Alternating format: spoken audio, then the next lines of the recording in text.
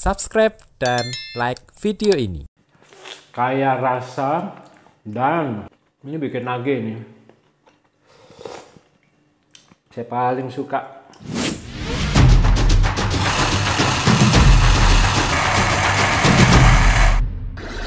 Gunners, untuk mendapatkan resep-resep lainnya, subscribe dan like video ini. Semangat pagi Gunners, kembali lagi dengan saya Samuel Gun di channel This is Gun. Masak mudah, nggak bikin lelah. Gunners, hari ini saya punya bahan yang beragam semuanya, hmm, banyak sekali. Dan kita akan membuat apa dengan semuanya ini? Kita akan membuat sayur lodeh yang lengkap. Kenapa dikatakan lengkap? Karena bisa dilihat di sini semuanya. Hmm, semuanya serba ada kayak toko serba ada. Dan cara membuatnya tentunya sangat mudah ya. Itu sebabnya bagi yang belum subscribe nih yang mau mendapatkan resep-resep secara rutin dari Disiskan di YouTube Anda silahkan subscribe dulu. Bunyikan loncengnya juga ding. Beri like-nya jika suka. Apalagi kalau mau di share ke rekan-rekan yang lain supaya channel ini memberi banyak manfaat Oke Gunners, bahan-bahannya apa saja? Saya bagi menjadi tiga bahan ini. Yang pertama itu adalah bahan untuk isiannya atau sayur-sayur semuanya. Dan yang kedua adalah bahan untuk dihaluskan atau bumbu-bumbu yang dihaluskan. Dan yang ketiga adalah bumbu kering yang tinggal kita masuk-masukkan saja. Nah, gampang kan? Cuman ada tiga macam bahan yang kita bagi dan semuanya itu nanti gampang untuk bumbu-bumbu halusnya.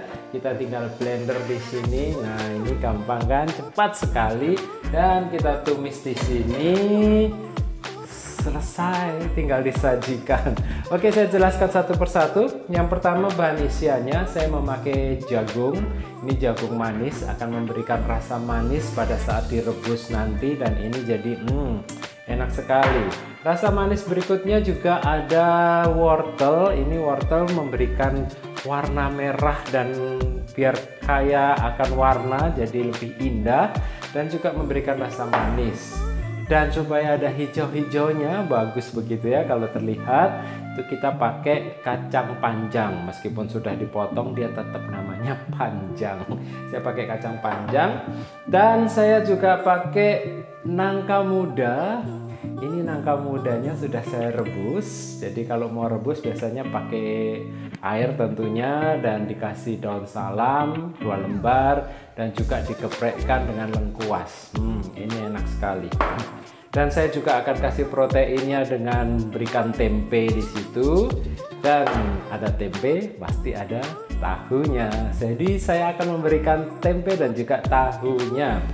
Dan sayur yang lain apa? Saya akan memberikan labu siam. Ini memberikan rasa yang enak, keras-keras dan kesegaran di situ. Dan tentunya tidak ketinggalan nih terong ungunya. Ini biasa kalau uh, mama saya masak karena ini kesukaan saya kalau saya pulang kampung ini oh saya paling suka dimasakkan lodeh ini dan pakai terong. Oke, sekarang bumbu-bumbu yang perlu dihaluskan apa saja?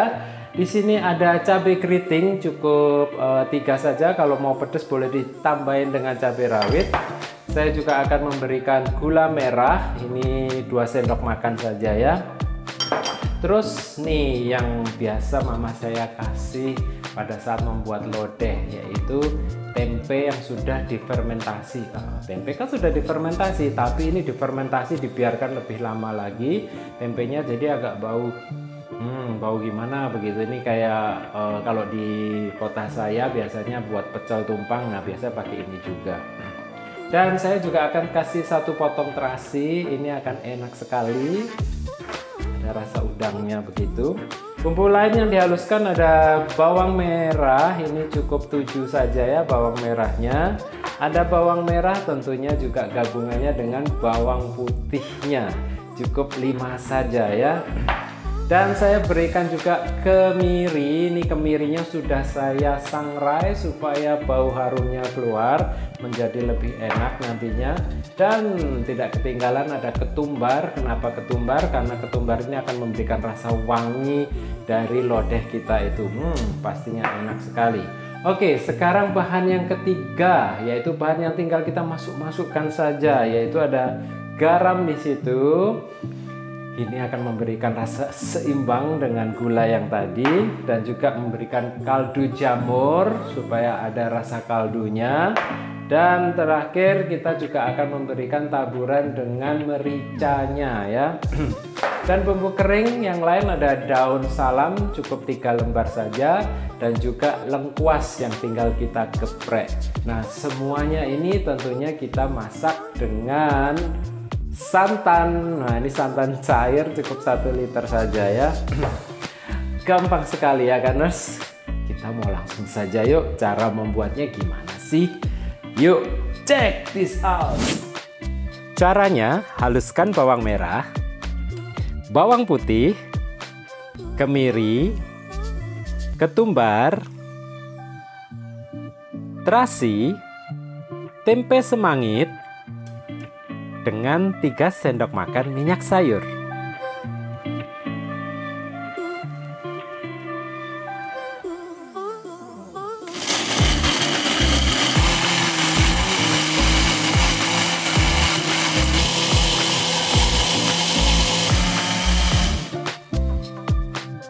Lalu tumislah bumbu halus ini dengan menggunakan api sedang.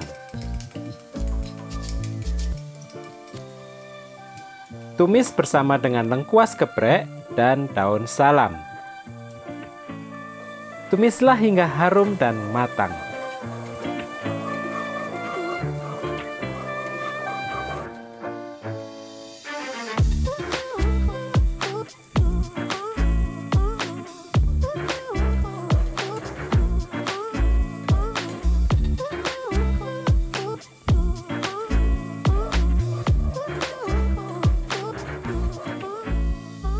Setelah itu, tuang 1 liter santan cair dan aduklah rata.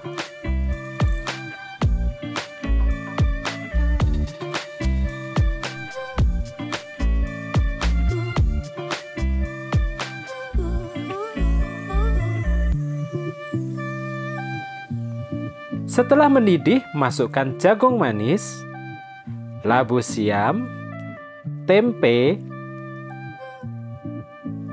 tahu, nangka muda, lalu aduklah hingga rata.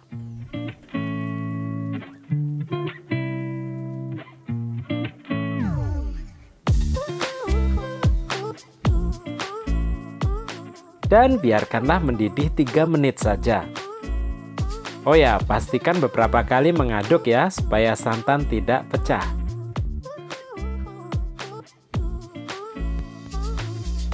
Langkah selanjutnya, masukkanlah wortel, aduk rata, dan biarkan mendidih satu menit saja. Terakhir, masukkan terong dan kacang panjang, aduk rata, biarkan mendidih satu menit,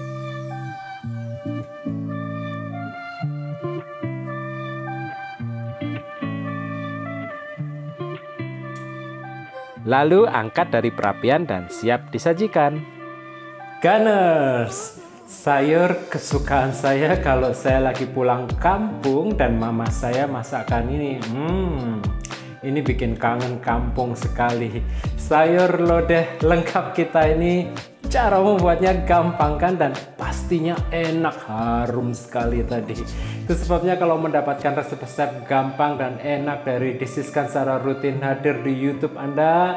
Bagi yang belum subscribe nih boleh dong subscribe dulu bunyikan loncengnya juga nih tekan ting beri like nya juga. Boleh di share ke rekan-rekan yang lain supaya memberi banyak manfaat. Di bawah sudah ada tips dan description, silahkan dibaca. Dan kalau ada komen atau pertanyaan silahkan tinggalkan komen di bawah. Kalau kita lihat dari semua warna merah, kuning, hijau, putih, Hmm, semuanya bercampur jadi satu, apalagi ini dimakan dengan nasi yang mengepul, hmm, enak sekali. Dan ada ikannya juga, oh enak sekali. Saya mau langsung hmm, makan saja ya. Kita langsung coba kuahnya dulu. Ini kuahnya yang paling aku suka. Hmm, bener. Rasanya lezat sekali. Hmm isiannya ada tempe di sini hmm nambah-nambah ini biasanya hmm. Hmm. kayak rasa lodeh yang lengkap dan paling enak Gunners, untuk sayur lodeh dari Disiskan silahkan dicoba di rumah. Gunners untuk mendapatkan resep-resep lainnya, subscribe dan like video ini.